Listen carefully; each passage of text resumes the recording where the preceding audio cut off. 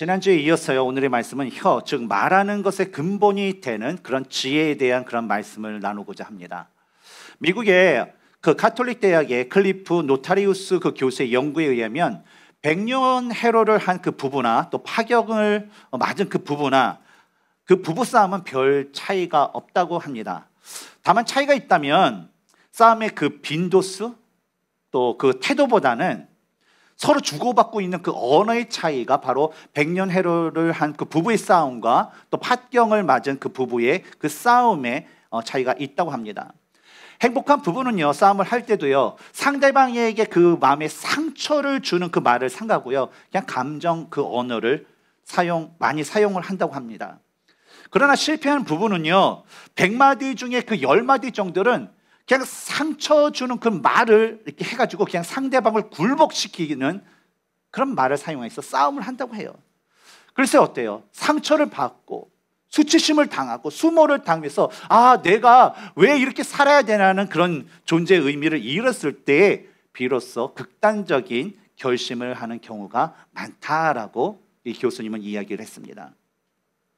그런데 이러한 말에 대한 그 문제는요, 우리 가정에 있는 그 부부 사이뿐만 아니라 바로 우리의 그 교회, 우리가 있는 이 교회에도 성도들 사이에서 동일하게 일어나는 문제라는 거예요. 요즘 세상은요, 어떻습니까? 자신의 생각과 또 그 의견을 분명하게 아주 명확하게 말할 줄 아는 사람들이 사람들로 보고, 어, 저 사람 똑똑해 하면서 인정을 받는 그런 세상이라고 합니다. 그래서 이제 어떤 모임이든 어떤 공동체에 가면요. 그냥 다른 사람들의 그 말을 듣기보다는 그냥 어떻게 하면 자기의, 아, 자기의 말과 그 생각을 하나라도 더 전하려고 막 하는 그런 사람들이 꼭 한두 명은 있다라는 거예요. 그런데 모임 때마다 이런 분들이 다른 사람들이 말을 듣지 않고 자신의 말을 한다면요. 어때요? 뭐 한 번은 참을 수 있어요. 그리고 두 번은 참을 자한번 더 쓸 수 있어요. 그래서 한국인들은 또 3세판 참을 인자를 좀 쓰지 않습니까? 그래서 세 번까지는 참을 수 있어요. 하지만 계속해서 그러한 행위를 동일하게 한다면 그 분위기는 그 모임은 분위기가 좋지 않고 사람들의 마음 가운데는 아유 다음에는 오지 말아야 되겠다라는 그런 생각이 들면서 그 모임이 공동체든 점점 분열되게 되고 깨지게 된다라는 거예요. 더욱이 이러한 분들이요, 정확한 배움과 삶의 온전한 행함이 없이 그냥 교회 안에서, 공동체 안에서, 소그룹 안에서 누군가를 가르치기만 좋아할 때 성도들에게 그 안에 모인 사람들에게는 열매보다는요, 그 사람들의 마음에 상처와 낙심을 줄 그 확률이 아주 높다라는 거예요. 왜냐하면 그러한 분들의 그 태도에는요, 자신만을 나타내고자 하는 것, 내 자신을 자랑하고자 하는 그런 이기적인 잘못된 그 지혜에서 그것이 흘러나왔기 때문입니다. 그런데 이러한 문제는요, 꼭 오늘날만이 아니에요. 오늘 성경을 보니까 야고보가 살고 있었던 이 시대에 바로 그리스도인들이 모인 그 초대 교회에도 있었음을 우리는 볼 수가 있습니다. 유대계 그리스도인들은요 예루살렘과 유대를 떠나 흩어져 살고 있지만요 그들의 모습 모습과 신앙적인 그 모습에는요 유대 사회의 모습 또 유대교적인 그런 색채가 여전히 강하게 남아 있었습니다. 유대계 그리스도인들이 모인 그 예배의 그 모든 형식과 절차는 마치 그 회당에 온 것 같이 회당과 비슷하였고요. 그들 사이에는 유대인들이 존경하는 그 선생님인 랍비 와 같은 그런 모습, 가르치는 모습을 흠모하고 사모하는 사람들이 너무나도 많았어요. 또한 안식일이 되면 유대계 그리스도인들도 나름대로 자기네끼리 모여서 회장에서 그 유대교의 랍비들이 하는 것처럼 돌돌 말린 그 두루마리를 하나씩 하나씩 피면서 그것을 말씀을 읽고 그 말씀에 대해서 설명을 하는 형식으로 예배를 드렸다라는 거예요. 그런데 우리가 이때쯤에 우리가 한 번 더 또 기억하면서 또 새겨야 할 부분이 있습니다. 그것은 뭐냐면 바로 지금 우리가 나누는 이 말씀을 이 야고보는 과연 누구에게 쓰고 있는가?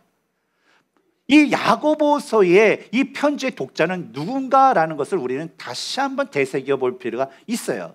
누군가요? 이들은요, 야고보의 편지를 받는 이들은 유대교의 그 유대인이 아니에요. 그리고 예루살렘과 유대에 사는 사람들이 아니라 어디에 사는 사람들이요?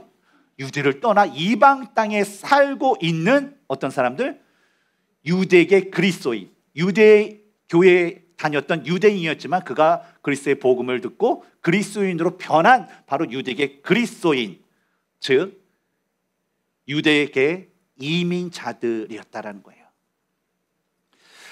이 이민자들은 어떻습니까? 사회에서 언어와 그 문화의 그런 장벽과 또 유대교 유대인인 유대교 신앙 때문에 이방인들에게 차별을 당했고요. 유대 사회에서는 어땠습니까? 이 그리스도인이란 이유만으로 유대교 동족 그 민족들로부터 멸시를 받았던 사람들이 바로 유대계 그리스도인이었다는 거예요. 그래서 당시에 유대계 그리스도인들이 자신의 그 생각과 그 의견을 마음껏 표출을 할 수 있는 것은 오직 바로 이 교회밖에 없었다는 거예요. 근데 문제는 당시 그리스도인들의 그 교회에는 그 회당의 그 랍비 같은 그런 선생님이나 오늘날에 저와 같은 그 목사와 같은 검증되고 정해진 선생님이 없었다라는 거예요. 그래서 말씀이 되면 어때요?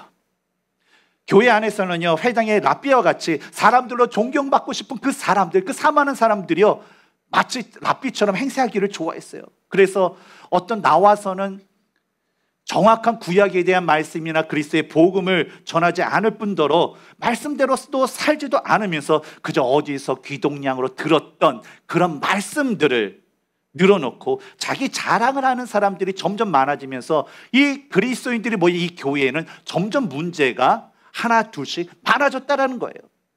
복음에 대한 그런 잘못된 이해를 가진 사람들이 있었고 지적인 그거에서만 추구하는 사람들이 있었고 서로 말 네가 맞다 내가 맞다 하는 그런 말다툼이 생기게 되었고 그러다 보니까 어때요? 분열되는 등 여러 가지 문제들이 교회에 생겼다라는 거예요.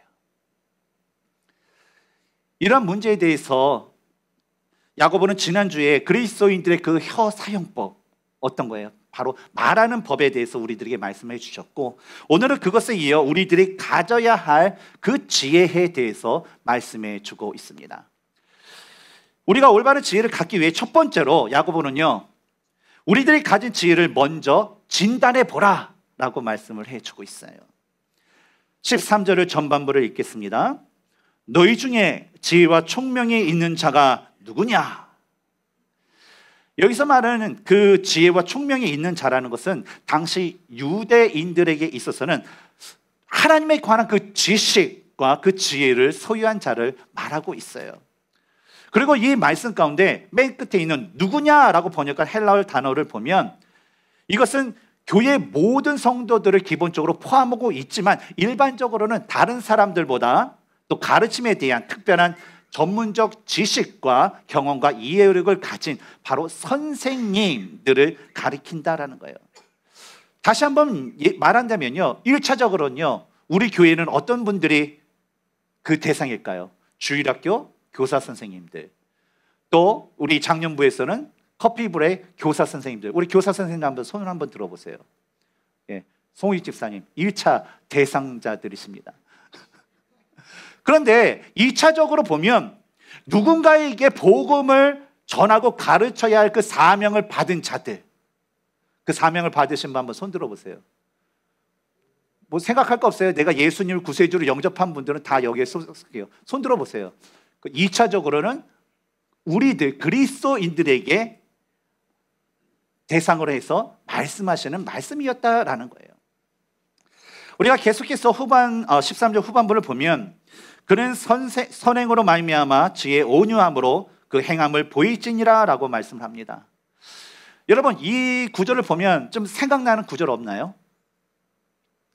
저는 이 구절을 딱 보면서 아 야고보서 2장 18절에도 비슷한 말씀을 하셨지 행함이 없는 내 믿음을 내게 보이라 라는 그 말씀 맞아요 야고보는요 이렇게 비슷한 표현을 사용하면서 사람의 사람의 행함이 없이 말로만으로는 자신의 믿음을 증명할 수 없듯이 아무리 자신이 지혜와 총명이 있다라고 자랑을 하더라도 지혜 온유함으로 보일 수 있는 그 선행이 그 사람의 삶 가운데 모습 가운데 없다면 그 사람은 분명히 하나님께서 세우신 선생이 아니다라는 거예요. 예를 들어서 어느 교회에요. 성경에 대한 그 지식이 많고 좀 어려움을 겪은 이게 성도님이 계시면 이 말씀을 찾아가면서 잘 상담해 주는 그 한 어떤 집사님이 있다라고 우리 한번 가정을 해보고 얘기를 하겠습니다. 근데 이분이요 가, 정에 가면 집에 가면 가족들에게는요 그냥 뭐 욕설과 뭐 폭력과 그것을 행사하면서 행사를 하고요 밖에서는 그냥 뭐 술 담배를 비롯해서 세상 사람들이 즐기는 그런 삶을 살아가고 있다면 이 분은 교회의 교사나 지도자로 세우는 것이 합당하냐? 라는 것을 우리는 생각해 볼 수 있다는, 생각해 볼 필요가 있다라는 거예요. 실제적으로요, 어느, 어, 미국의 어느 교회에서 있었던 일이에요.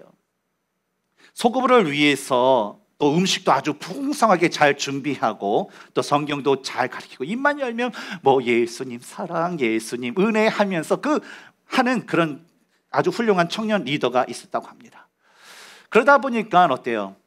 이, 청, 이 청년 리더는 그 동료, 그 청년들에게 아주 인기가 좋았어요. 그리고 그가 행하는 그 모습을 보고 담당 그런 목사님은 공개적으로 아, 우리 이런 리더가 있어서 너무나도 감사합니다 라고 칭찬을 자주 했다고 합니다. 그런데 한 뭐 6개월 이상 지나게 되면서 그 주위의 청년들에게 그 리더에 대한 그 소문이 떠들기 시작해 하게 됐어요. 어떤 소문이냐면 아니 그 리더가 세상 교회 모임 소그룹 마치면 그냥 청년들 몇 명을 데리고 술집에 가서 2차 교제를 한대. 어, 글쎄 글쎄 내가 보니까 저 커피숍 앞에서 어, 그 리더가 담배를 피고 있어. 라는 그런 소문이 들렸대요. 근데 이것이 소문으로만 끝나면 참 좋았을 텐데 얼마 있지 않아 그 청년 리더에 대한 소문이 사실로 드러났다라는 거예요.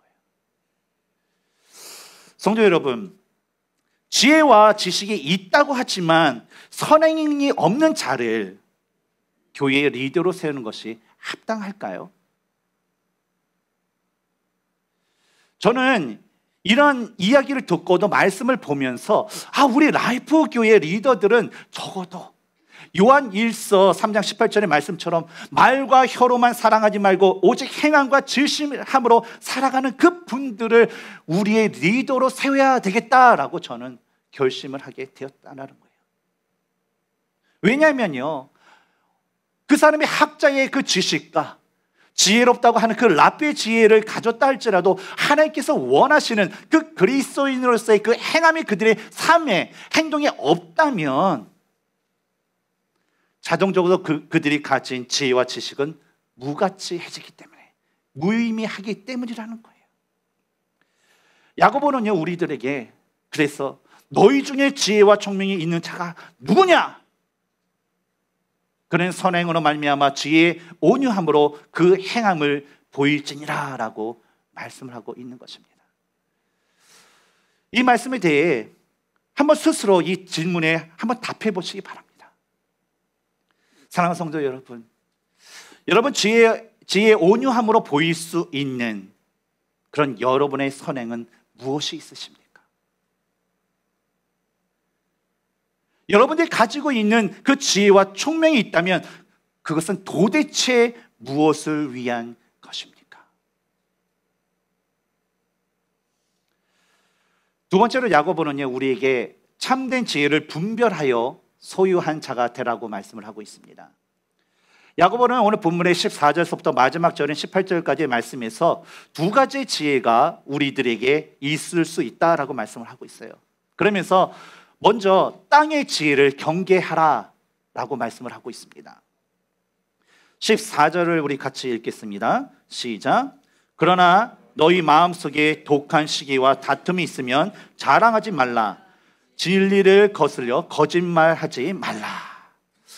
여기서 이 시기라고 번역한 헬라어에는요, 어떤 열정, 열심이라는 그 긍정적인 의미도 있지만 시기, 질투라는 그런 부정적인 그런 의미도 같이 담고 있습니다. 그래서 성경을 보면요, 하나님을 더 가까이 하고 하나님을 더 알기 위해서 더더 열심히 애쓰는 그런 모습들, 그런 구절들에 바로 이 단어가 사용된 것을 우리가 볼 수 있어요. 근데 오늘 본문에서와는 본문에서 같이 이 본문에서는 바로 부정적인 의미인 시기라는 뜻의 바로 독한이라는 그 수식어를 붙여서 사용하고 있는 것을 볼 수가 있습니다. 이 독한 시기라는 것은 뭐냐면 상대방에 대한 그 열등감이 있잖아요. 그 열등감이 시기심으로 바뀌어서 어떻게 하든지 무슨 수를 쓰든지 상대방을 망신시켜서 그냥 짓밟아 버리고자 하는 눌러 버리고자 하는 그런 태도를 가리킨다라는 거예요. 또한 말씀을 보면 이기적인 야심과 파당심이라는 뜻을 가지고 있는 그 다툼이라는 것이 우리들에게 있을 수 있다라고 해요. 이것은 어느 개인이나 그런 소수의 그 무리들이 자신의 그 주장만을 내세우고자 하는 그런 이기적인 그런 태도, 바로 당짓기, 또 우리 일상생활의 전문 용어로 얘기하면 끼리끼리라는 것을 의미를 하고 있어요. 야곱은 이러한 독한 시기와 다툼 같은 이기적인 마음을 가득 갖고 있으면서도 아 내가 지혜롭다 내가 총명하다라고 자랑하는 사람들이 어디 있어요? 교회 안에 있다라고 말씀을 하고 있는 거예요. 야고보는 이런 자들에게요. 야, 독한 시기와 다툼의 모습이 너에게 있다면 그런 거짓 지혜를 자랑하지 말라라고 경고를 하고 있는 거예요. 왜냐하면 독한 시기와 다툼의 모습은요. 그 자체가 이미 아, 나는 거짓 지혜를 갖고 있어 라는 것을 입증할 뿐만 아니라 그것은 바로 진리의 가르침에 위배되고 교회의 그 모임과 또 공동체의 존립을 위협하는 악한 것이기 때문이라는 거예요. 그런데 이렇게 악한 이유는 15절의 그 말씀과 같이 이러한 지혜, 어떤 지혜입니까? 바로 거짓된 지혜는 위로부터, 누구로부터? 하나님으로부터 온 것이 아니요. 땅 위의 것, 정욕의 것, 귀신의 것이기 때문이다라고 말씀을 하고 있어요. 거짓 지혜의 아, 출처는 세 가지가 있습니다. 바로 세상, 그 다음에 정욕, 그 다음에 귀신이라는 거예요. 세상이라는 것은 뭐냐면 우리가 살아가는 이 세상을 말하는 것이 아니라 바로 요한일서 2장 15절에서 16절에서 말하는 그런 잘못된 체제들을 말하는 거예요. 우리 다 같이 한번 읽어볼까요? 시작. 이 세상이나 세상에 있는 것들을 사랑하지 말라. 누구든지 세상을 사랑하면 아버지의 사랑이 그 안에 있지 아니하니 이는 세상에 있는 모든 것이 뭐요? 육신의 정욕과 안목의 정욕과 이생의 자랑이니 다 아버지께로부터 온 것이 아니요. 어디로부터 와요? 세상으로부터 온 것이라. 다음으로 우리 정욕은요. 바로 아담으로부터 물려받은 그런 타락한 그 성품과 본성으로 언제나 그 자기 중심적인 그런 모습을 말을 하고 있습니다. 그러다 보니까 어때요? 하나님의 교회. 예, 그것이 들어오면 이 그 뒤에는 항상 귀신이, 즉 마귀가 그것을 조종하였어요. 바로 하나님의 교회, 즉 우리의 가정과 목장과 그, 그 교회의 분열과 다툼을 일으켜서 하나님께 주신 그 원래 기능을 상실하게 하고 결국은 파괴시키는 그런 역할을 한다라는 거예요. 그래서 야고보는 16절에서 다음과 같이 말씀한 거예요.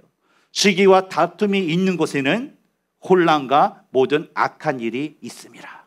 그래서 만약에 우리 교회 가운데, 우리 모임 가운데 이 복음의 진리가 아니라 다른 것으로 우리에게 다툼이 있고 문제가 있다면 그건 누가 역사하는 거예요?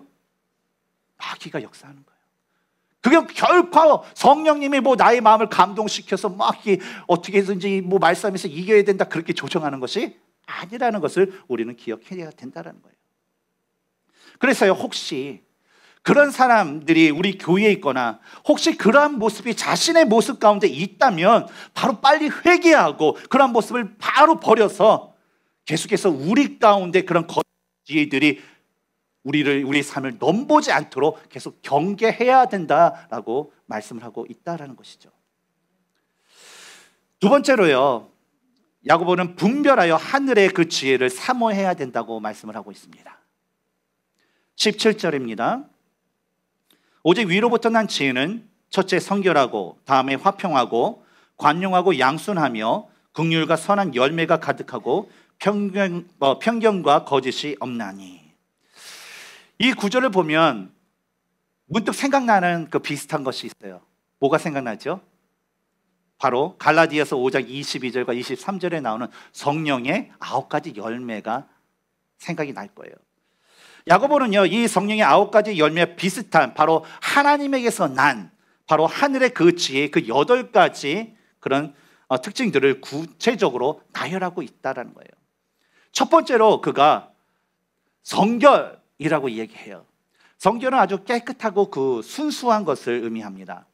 근데 이 성결을 첫 번째로 이렇게 말하는 것은 뭐냐면 하나님의 지혜를 가진 자라면 그 깨끗하고 아주 청결한 마음을 가지고 있어야 된다는 것을 강조하기 위함이에요. 왜냐하면 마태복음 5장 8절에 예수님께서 마음이 청결한 자는 복이 있나니 그들이 하나님을 볼 것이며라고 말씀하신 것 같이 성결한 그 마음과 그런 생각과 그 행위는요 우리가 어떤 상황에 있든지 누구를 바라볼 수 있게 해요? 바로 하나님을 바라볼 수 있게 하기 때문에 우리 마음 가운데 처음으로 첫째로 성결이라는 그런 마음, 그 지혜를 갖고 있, 있으라는 거예요. 두 번째로는 화평이라고 합니다. 이것은 본문에 나오는 독한 시기와 다툼과 아주 대조적인 것으로 언제나 그 하나됨을 추구하는 태도를 가리켜요. 근데 이 하나 된다고 해서 그냥 하나 되기 위해서 아이 뭐 저 사람 뭐 잘못됐지만 하나 되기 위해서 우리가 눈 감아 줘야지 그런 말은 아니에요. 어떤 말이냐면 그 진리의 문제가 아닐 때에는 그냥 모든 사람이 다 화평할 수 있도록 그냥 하라는 그런 그 지혜를 말하는 것이죠. 세 번째는 관용입니다. 이것은 아주 공정하고 유연한 것으로 우리는 말로 얘기하면 그 너그러운 그런 마음을 의미를 해요. 우리 교회 보면 참 똑똑하신 분 맞죠? 그 말하는 것이나 또 어떤 판단하는 것이나 행하는 것이 아주 똑똑한 분이 있습니다. 그래서 어떨 때는 민망할 정도로 탁탁 부러지게 그렇게 말씀하시는 분들이 있어요. 근데요, 하나님의 입장에서 또 성경적으로 보면 그러한 모습은요, 바로 하나님의 지혜를 가진 자들의 모습이 아니라는 거예요. 왜냐하면 우리 성경 속에 나오는 예수님의 모습은 어땠어요? 성경 속에 나온 하나님은 우리 뒤에 어떤 모습을 하셨나요? 야, 율법 네가 1조 2랑을 틀렸어. 너는 2조 2항서부터 3항까지 틀렸네? 어, 너는 뭐 지키는 게 없어. 그러면서 너는 잘못됐어. 하면서 예수님이나 하나님께서 우리를 지적하시나요? 아니에요. 하나님은 그런 분, 예수님은 그런 분이 아니셨다라는 거예요. 그렇기 때문에 우리는 어떤 뭐 자신의 그 지적인 것으로 그게 정확한 그 판단보다는 항상 상대방의 그 어려움과 상대방의 그 마음을 먼저 헤아려주는 그런 관용적인 그런 마음을 갖고 있어야 된다는 것입니다. 네 번째로는 양순이에요. 이 양순이라는 건 신약 성경에서 오직 이 야고보서 이 부분에서만 사용이 되고 있는데 이것은 뭐냐면 어 바로 잘한다고 할 때의 잘과 또 설득되는이라는 그 단어로 이루어졌어요. 그래서 뜻을 합치면 어떤 뜻이 돼요? 잘 설득되는이라는 그 뜻을 갖고 있어요. 바로 순종하는 태도를 갖고 어, 말하고 있습니다. 근데 이 순종하는 태도를 말한다고 해서 줏대 없이 사람들의 말에 쉽게 설득돼서 아유 이 말이 맞은가 비요 하면서 이쪽으로 가고 또 저 사람이 어 이쪽도 맞네 그러면서 이쪽으로 가는 그런 행동을 말하는 것이 아니에요. 여기서 말하는 것은 뭐냐면 성경이 말하는 그 진리가 무엇인가에 대해서 내 고집, 내 생각, 내 경력과 내 경험 그 모든 것을 다 내려놓고 오케이 내 진리를 따라가겠습니다. 라는 그런 태도를 말하는 것이 양순이라는 것입니다. 다섯 번째로 극률이에요. 여러분 은혜가 무엇입니까? 우리가 구원을 은혜로 받았잖아요. 근데 은혜라는 것이 뭐예요? 은혜는 자격이 없는 사람에게 주는 것이 바로 은혜예요. 우리가 구원받을 자격이 없어요. 우리 죄인이기 때문에. 하지만 하나님 우리 사랑하셔 하나님의 은혜로 우리는 구원을 받게 되죠. 반면에 긍휼은 무엇이에요?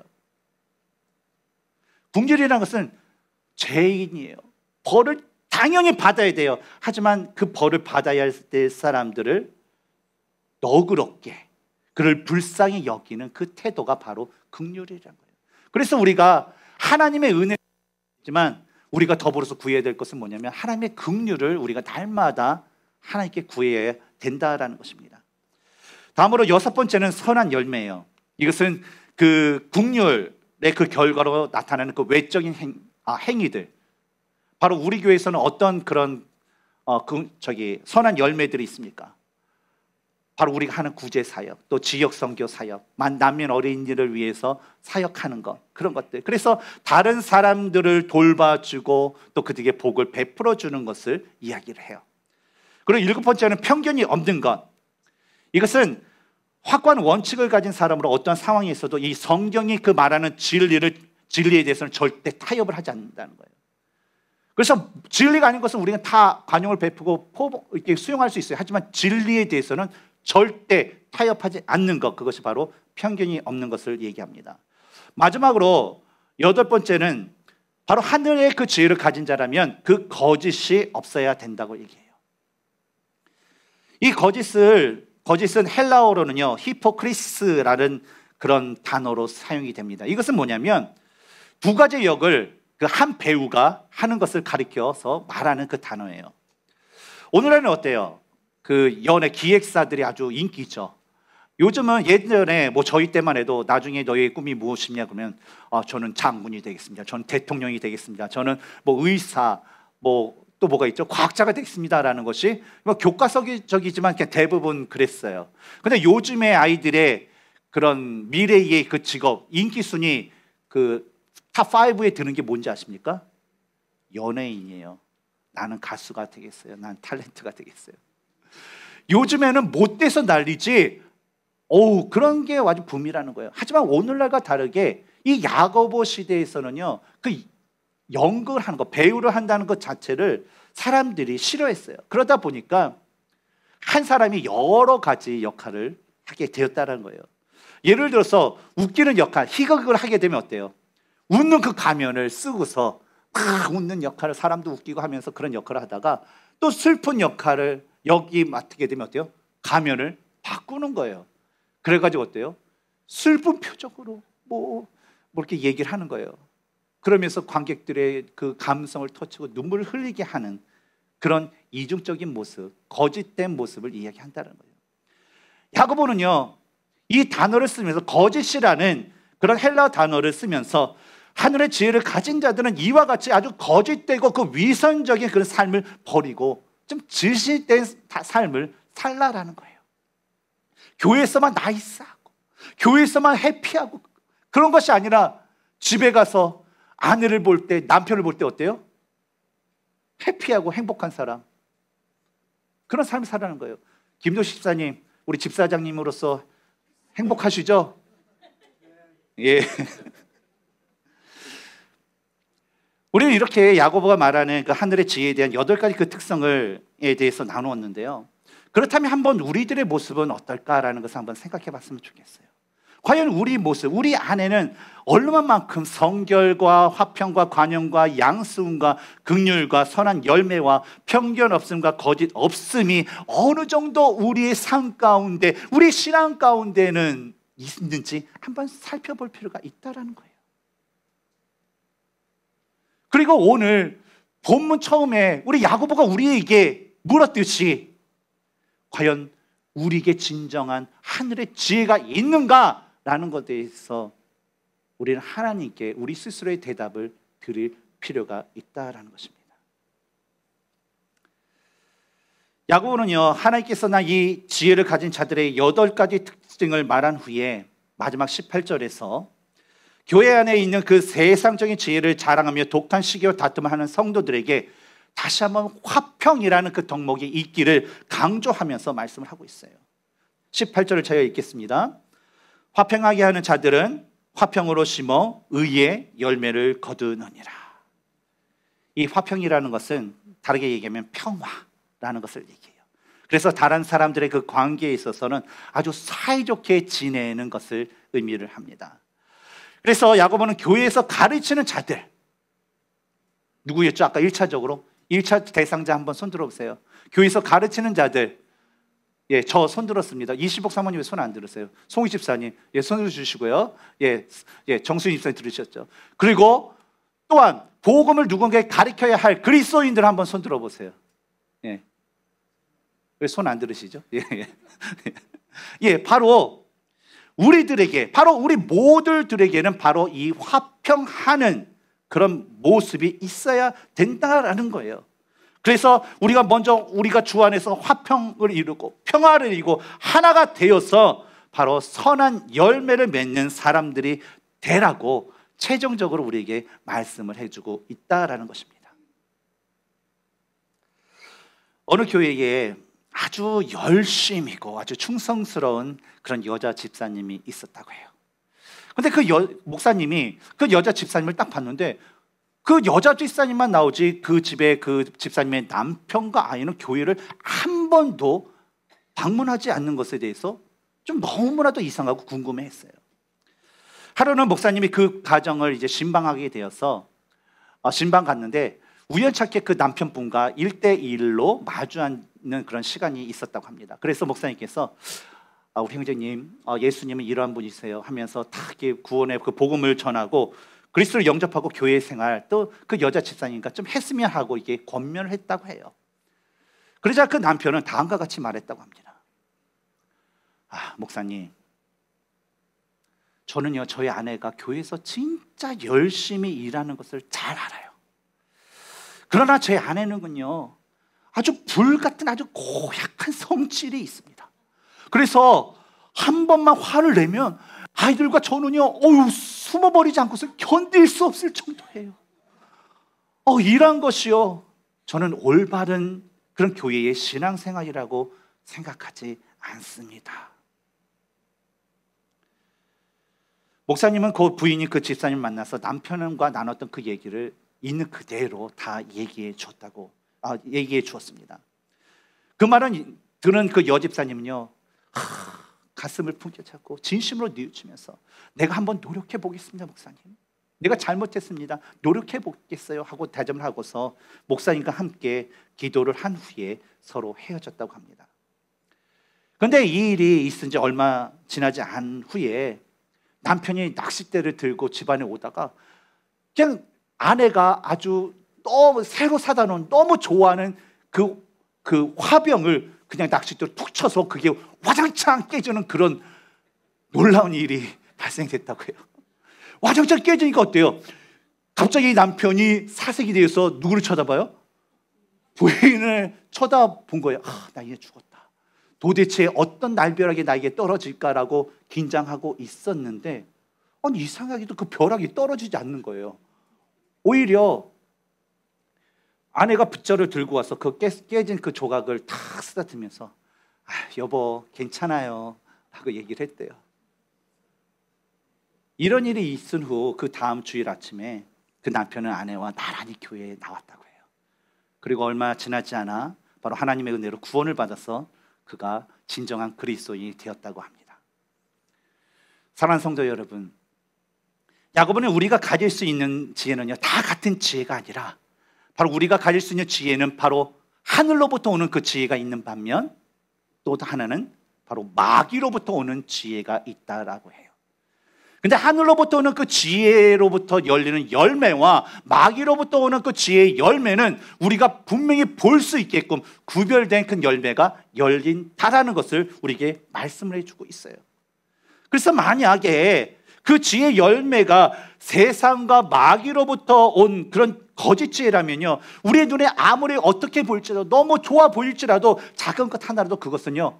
미련 없이 과감하게 그것을 버려야 한다는 거예요. 반대로요. 그 지혜의 열매가 하나님으로부터 올그 신령한 진정, 아, 신령한 것이라면요.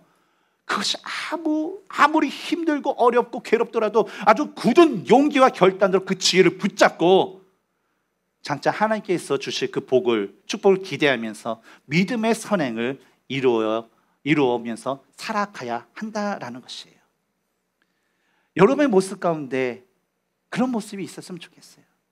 자신을 살펴보면서 내가 가진 지혜의 그 열매가 하나님이 기뻐하지 않는 그 열매가 있다면 여러분 회개하시고 빨리 버리시고 내가 오늘 그 지혜가 하나님으로부터 오는 것이라면 내 상황과 내 형편이 힘들지라도 그것을 붙잡고 나의 삶 가운데 어떻게 하면 하나님께서 기뻐하시는 그런 선행이 펼쳐질 수 있을지 고민하면서 그것을 이루면서 살아가야 한다라는 것입니다.